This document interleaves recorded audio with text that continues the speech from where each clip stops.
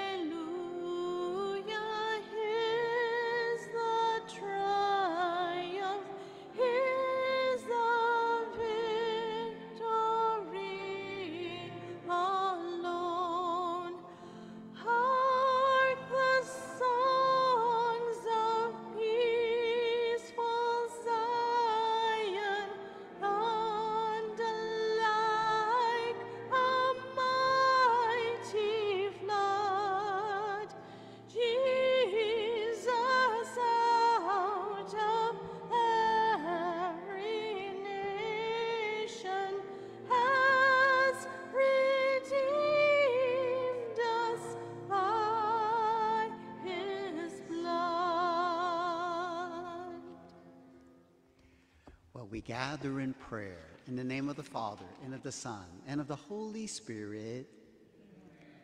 The Lord be with you. As we gather, we turn to the Lord and we recognize we need His help, not only for ourselves, our world needs Him. And so we come before Him seeking His grace, His help, but also His pardon for any faults, any failures. We ask the good Lord for pardon for ourselves and for the sins of our world.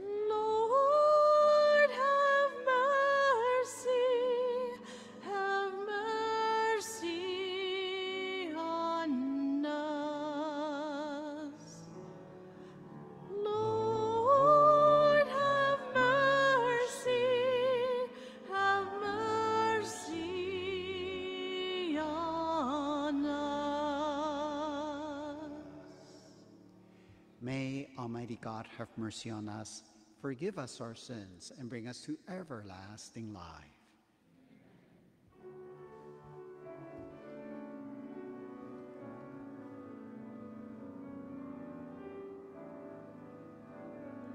Glory to God,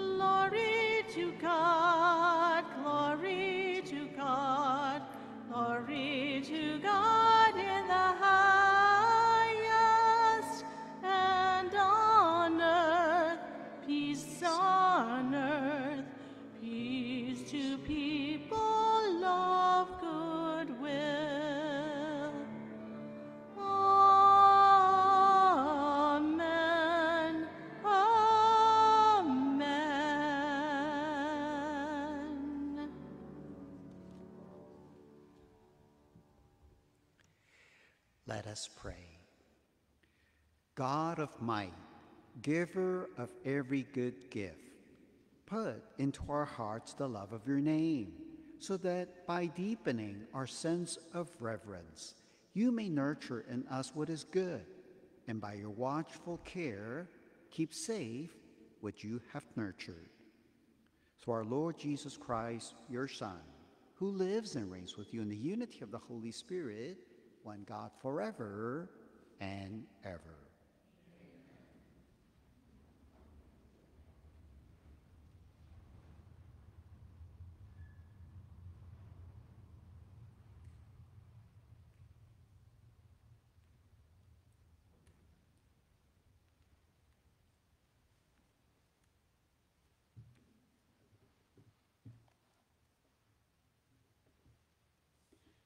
A reading from the book of Deuteronomy. Moses said to the people, Now, Israel, hear the statutes and decrees which I am teaching you to observe, that you may live and may enter in and take possession of the land which the Lord, the God of your fathers, is giving you.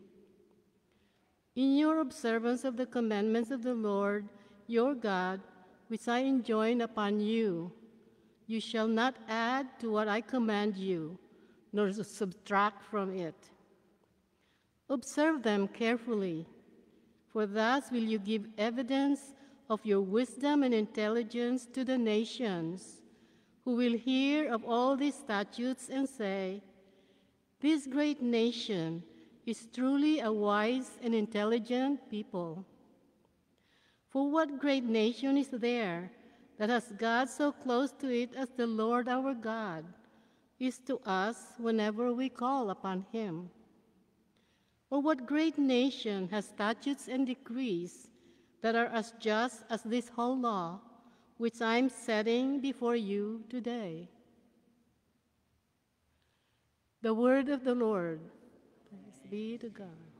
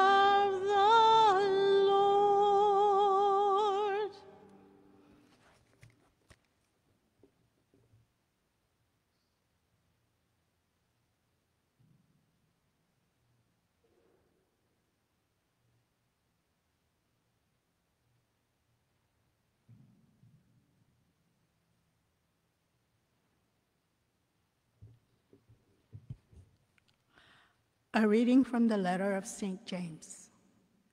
Dearest brothers and sisters, all good giving and every perfect gift is from above, coming down from the Father of lights, with whom there is no alteration or shadow caused by change. He willed to give us birth by the word of truth, that we may be a kind of first fruits of his creatures.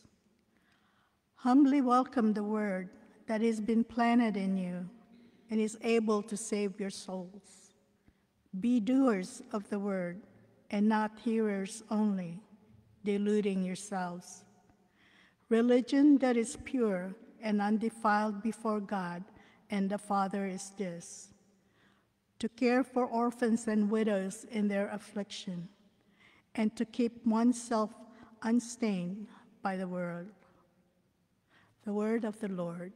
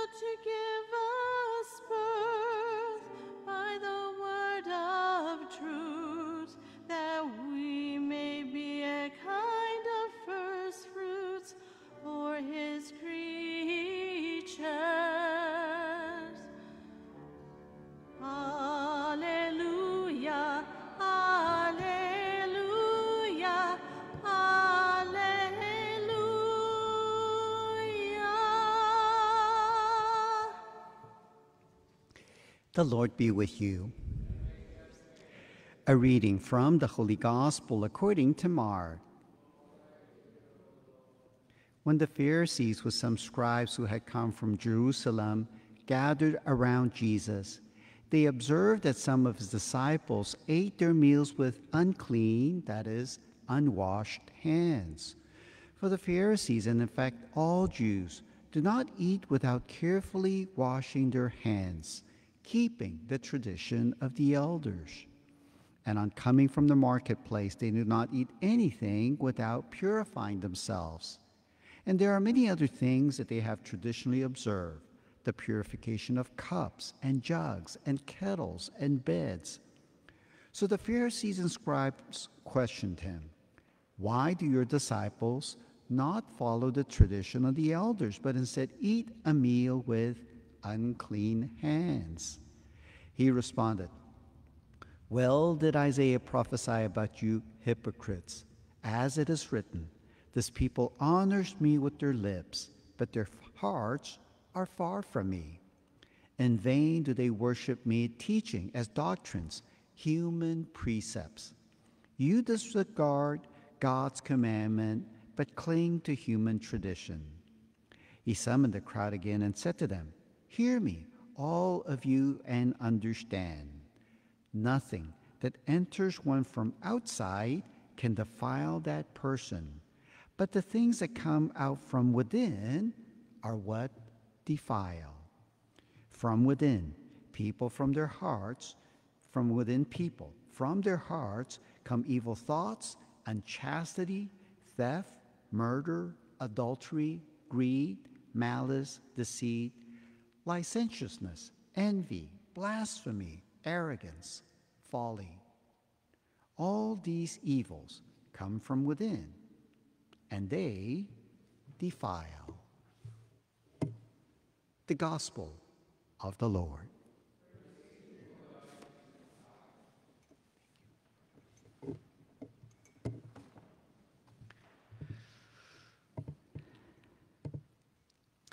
Well, what makes you special? What makes you unique? What makes you stand apart from others. While we obviously look different from each other, and we may have different histories, different backgrounds, education, hopes, and dreams, nonetheless, what do you feel makes you special? In the Bible, the word they use to describe someone different, someone set apart, from others is holy. To be holy means to be unique and not simply ordinary or not simply common. The Pharisees in Jesus' time would use the word common to describe Jews who would break the Jewish purity laws, such as not having washed their hands before eating or not observing the Sabbath. We too, when we use the word common to describe someone, it carries so a little slight connotation of mediocrity, right? So we would say, oh, so and so, he's common, right? He's, there's nothing special about that person. He's common, hmm, mediocre, below par. In today's gospel, Jesus used the word used the encounter with the Pharisees to challenge their notion of what makes a person holy. For the Pharisees, what sets a person apart is their observance of the law.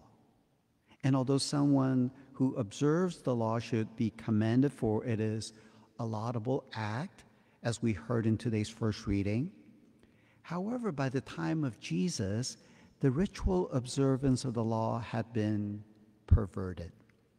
There is superficial observance of the law without the accompanying interior change of the heart. In essence, Jesus is saying to them, What good is it if you wash your hands, yet your hearts are full of malice, greed, arrogance, and deceit? So Jesus helps his listeners to refocus on what will set them apart, on what will make them holy and pleasing to God. Keep not only the ritual observance of the law, but accompany it with an interior change of heart.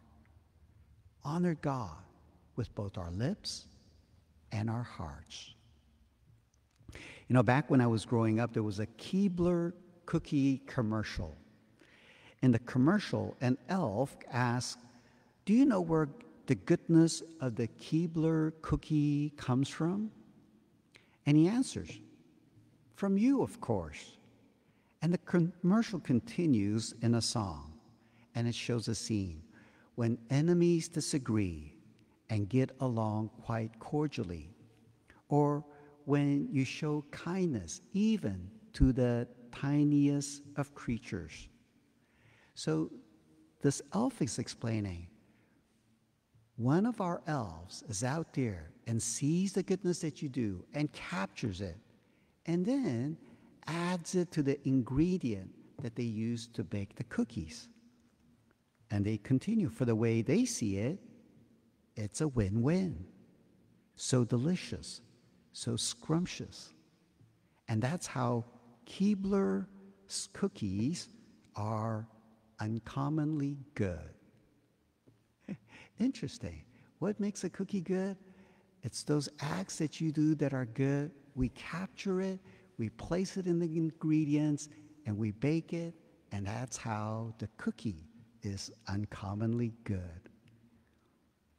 Uncommonly good is another way of saying out of the ordinary, set apart, holy. In a sense, the simple commercial with the recipe for cookies is also the recipe for us to be holy, right? In today's second reading, St. James teaches the people how religion can be pure, undefiled, and pleasing to God.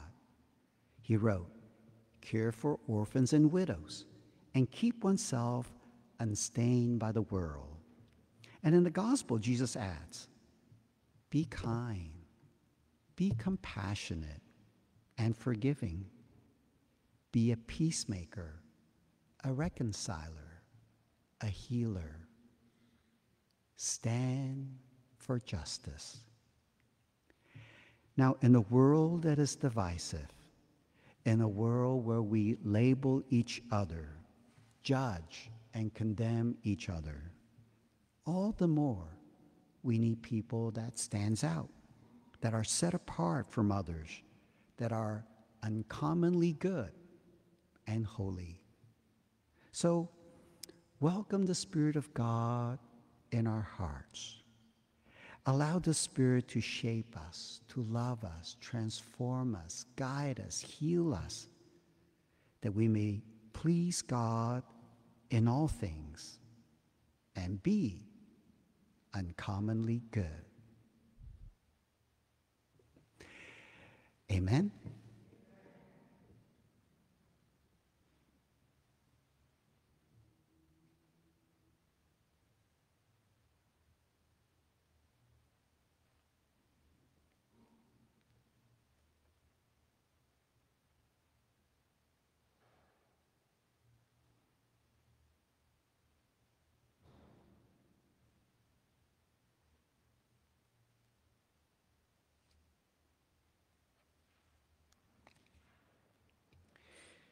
And so, to this God who calls us to our better selves, to him let us renew our profession of faith.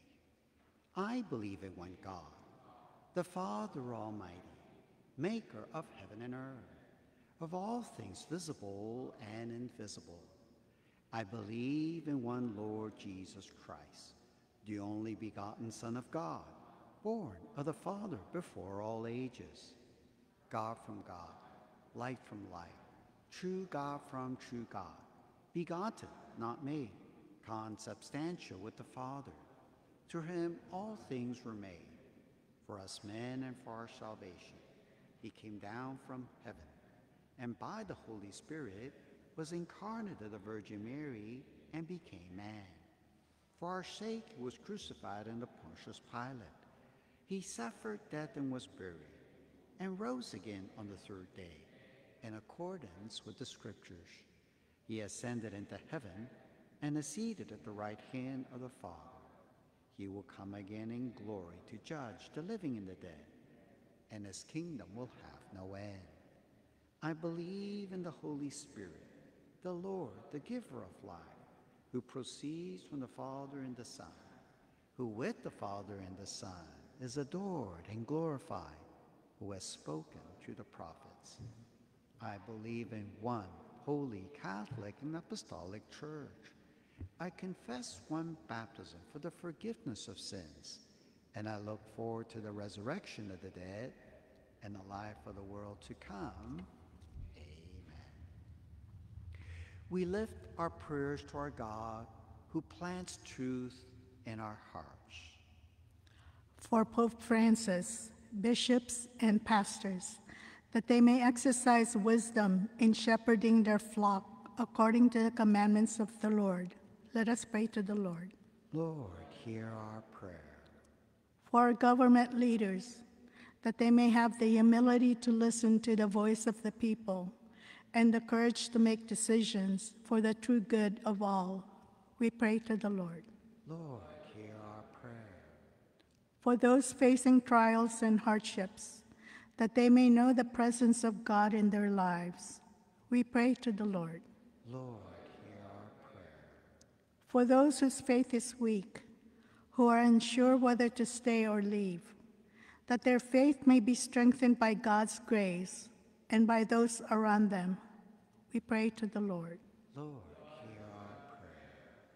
For those who are ill, especially Bishop Daniel Walsh, Laverne Flontini, Daniel Linhart, Daniel Echeverry, and Peter Bala, that they find comfort and healing, we pray to the Lord. Lord, hear our prayer. For those who have died, especially Yvonne Marty, Shan Wu, those who died by violence, as well as those who mourn them, that they find peace with God, we pray to the Lord. Lord, hear our prayer. This Mass is being offered for the people of the parish and Martha Malmeister. We pray to the Lord Lord, hear our prayer. for the intentions we hold in the silence of our hearts.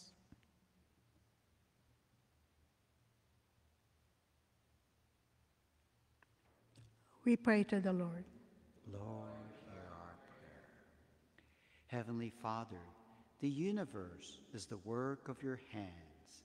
Inspired by your Spirit, we ask for your bounty in the name of your Son, Jesus Christ our Lord.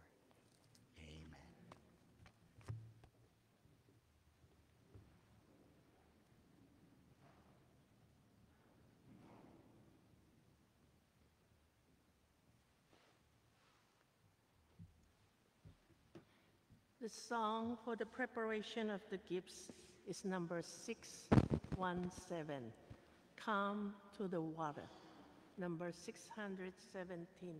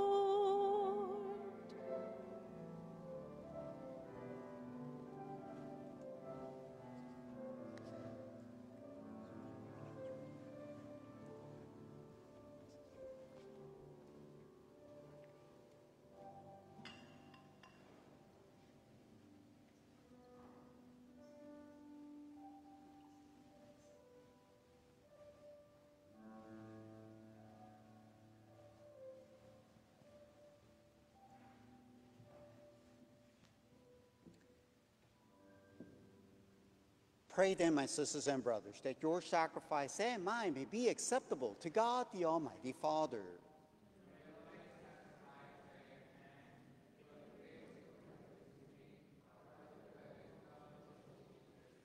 May this sacred offering, O Lord, confer on us always the blessing of salvation, that what it celebrates in mystery, it may accomplish in power. Through Christ our Lord. The Lord be with you. Lift up your hearts. And let us give thanks to the Lord our God. It is truly right and just, our duty and our salvation, always and everywhere, to give you thanks, Lord, Holy Father, Almighty and eternal God, through Christ our Lord. For out of compassion for the waywardness that is ours, he humbled himself and was born of the Virgin. By the passion of the cross, he freed us from unending death. And by rising from the dead, he gave us life eternal. And so, with angels and archangels, with thrones and dominions, and with all the hosts and powers of heaven, we sing the hymn of your glory as without end we acclaim.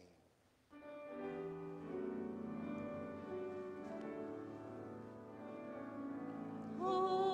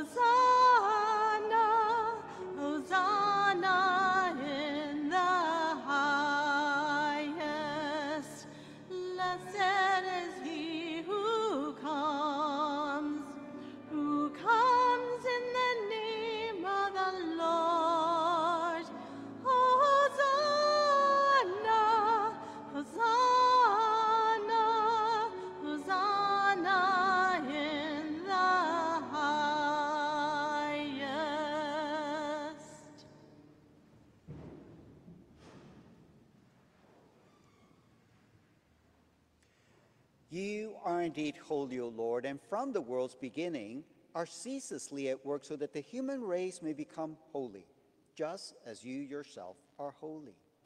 Look, we pray upon your people's offerings and pour out on them the power of your Spirit, that they may become the body and blood of our Lord Jesus Christ, in whom we too are your sons and daughters. Indeed, though we once were lost and could not approach you, you loved us with the greatest love. For your Son, who alone is just, handed himself over to death and did not disdain to be nailed for our sake to the wood of the cross. But before his arms were outstretched between heaven and earth to become the lasting sign of your covenant, he desired to celebrate the Passover with his disciples. As he ate with them, he took bread and giving you thanks. He said the blessing, broke the bread, and gave it to them, saying, Take this, all of you, and eat of it, for this is my body, which will be given up for you.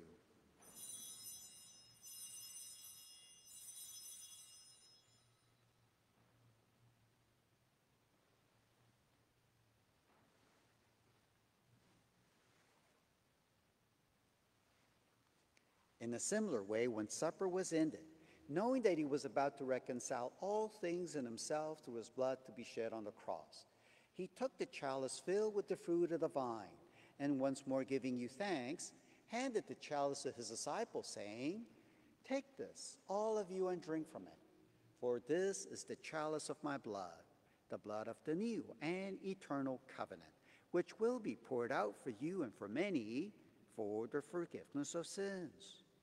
Do this in memory of me.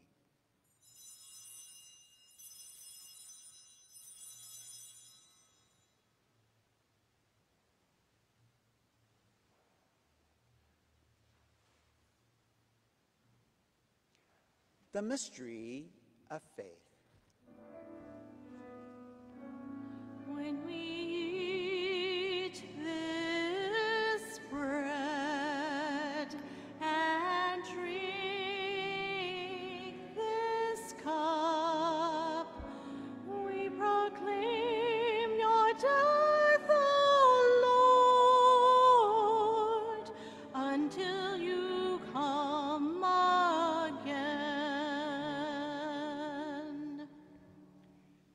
As we celebrate the memorial of your Son, Jesus Christ, who's our Passover and our surest peace, we celebrate his death and resurrection from the dead, and looking forward to his blessed coming, we offer you, who are faithful and merciful God, this sacrificial victim who reconciles to you the human race. Look kindly, most compassionate Father, on those you unite to yourself by the sacrifice of your Son, and grant that by the power of the Holy Spirit, as they partake of this one bread and one chalice, they may be gathered into one body in Christ, who heals every division. Be pleased to keep us always in communion of mind and heart together with Francis, our Pope, and Salvatore, our Bishop. Help us to work together for the coming of your kingdom until the hour when we stand before you, saints among the saints in the halls of heaven, with the Blessed Virgin Mary, Mother of God, the blessed apostles and all the saints, and with our deceased brothers and sisters, whom we humbly commend to your mercy. Then, freed at last from the wound of corruption, and made fully into a new creation, we shall sing to you with gladness the thanksgiving of Christ, who lives for all eternity. Through him, and with him, and in him, O God, Almighty Father, in the unity of the Holy Spirit, all glory and honor is yours forever and ever.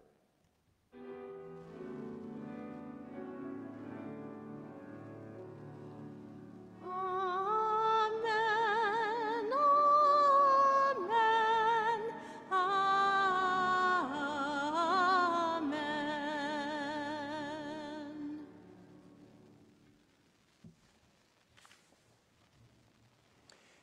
children of the one Father, together we pray as Jesus taught us. Our Father, who art in heaven, hallowed be thy name.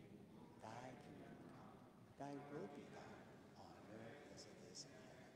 Give us this day our daily bread, and forgive us our trespasses, as we forgive those who trespass against us. And lead us not into temptation, but deliver us from evil. Deliver us, Lord, we pray, from every evil. Graciously grant peace in our days, that by the help of your mercy we may be always free from sin and safe from all distress, as we await the blessed hope and the coming of our Savior, Jesus Christ.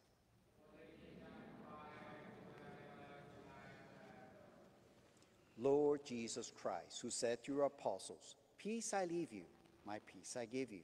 Look not on our sins, but on the faith of your church, and graciously grant her peace and unity in accordance with your will, who live and reign forever and ever. The peace of the Lord be with you always. Let us offer to each other a sign of Christ's peace.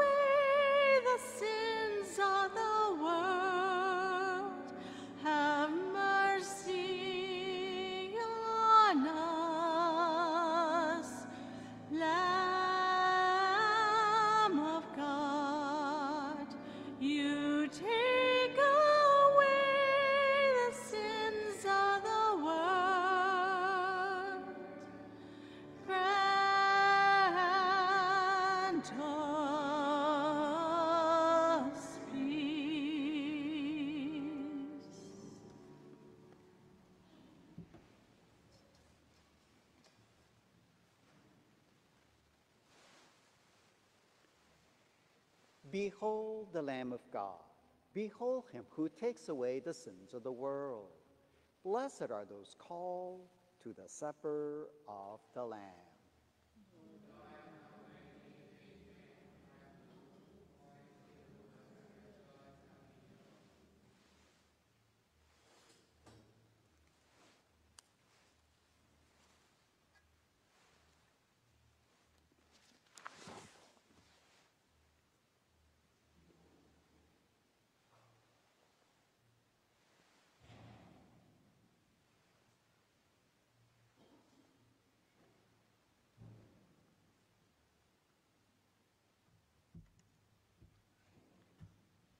Communion song is number 357, Ang katawan ni Kristo, Behold the body of Christ.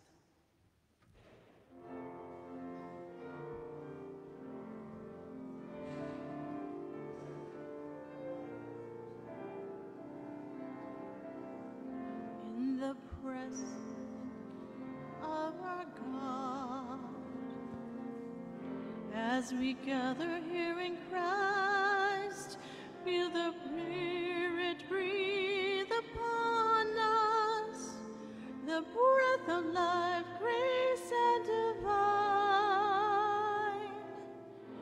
We have come to break the bread.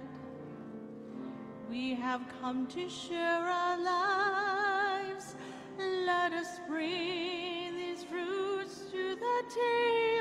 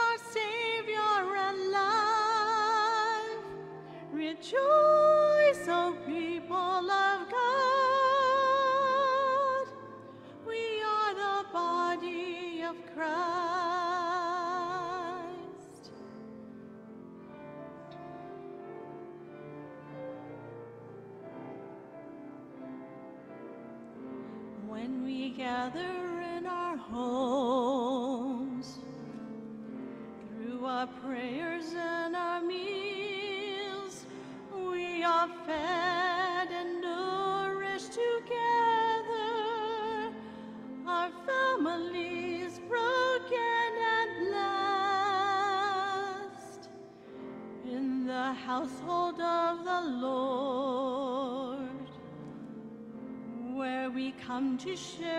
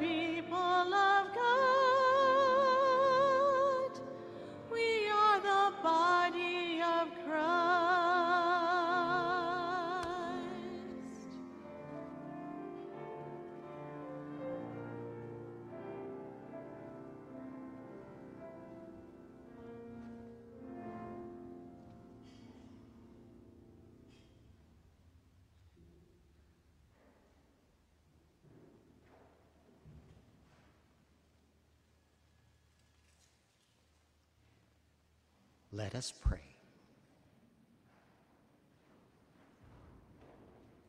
Renewed by this bread from the heavenly table, we beseech you, Lord, that being the food of charity, it may confirm our hearts and stir us to serve you and our neighbor.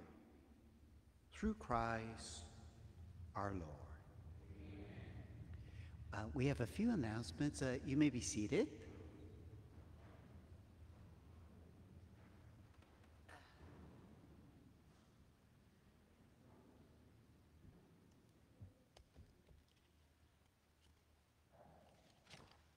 Our second collection this Sunday is for the Archdiocese of Military Services. Although the military provides for chaplains, but they don't pay for the programs such as religious education for children or the training of seminarians and deacons. Your gift will enable this archdiocese to continue its service around the world. Ushers, you may now take up the collection. Thank you for your generosity.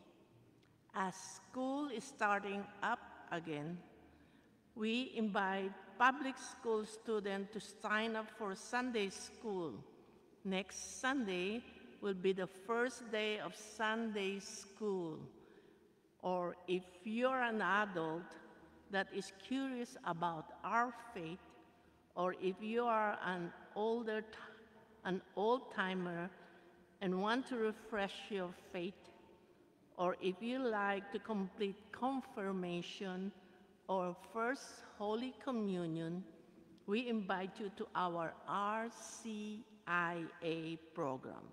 Please see our bulletin or call the office for more information.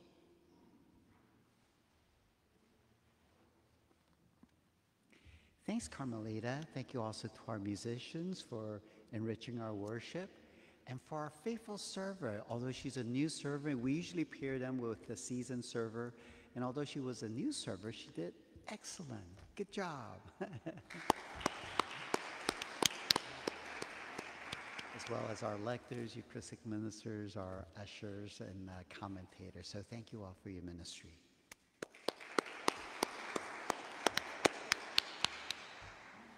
Please stand. And so may the Lord be with you. In your spirit, And may Almighty God bless you, the Father, the Son, and the Holy Spirit. amen. Our Mass is ended. Let us go in peace, glorifying the Lord by our lives. Thanks be to God. Our closing song is number 391, City of God, 391.